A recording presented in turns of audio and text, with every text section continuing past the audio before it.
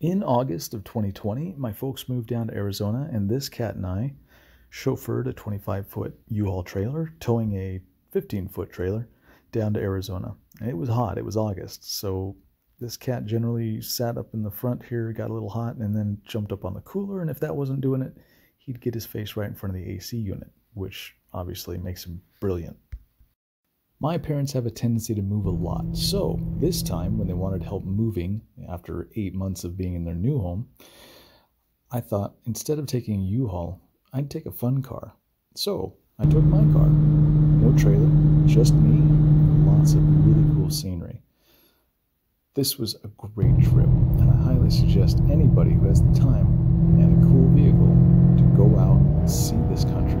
Take a look around. It's absolutely gorgeous get opportunities to do things you might not normally get a chance to do.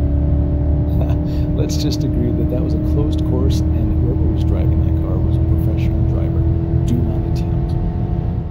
All right, all right. Go ahead, say it, get it out. I'm a little kid. Fine. I've always wanted to take my car down through the desert and drive fast.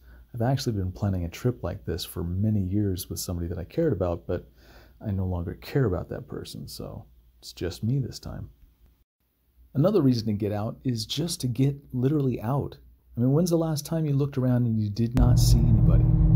I gotta say, some of the traffic that I was slash wasn't seeing was remarkable and fabulous. And all I can say is, took my breath away. When there was traffic, here's how I dealt with it.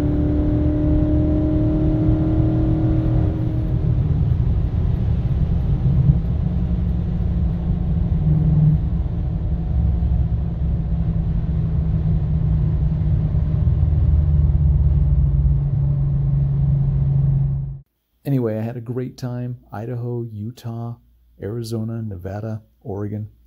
By the way, Arizona is not happy with the way things are going, global warming and whatnot. While I very much appreciate the scenery that Arizona had to offer, mostly I was just happy that this cat now has a place to permanently call his home and blend in.